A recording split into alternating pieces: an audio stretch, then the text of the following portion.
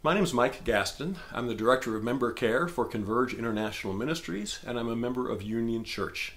And I'll have the opportunity this fall to take people through a verse by verse study of the book of Romans.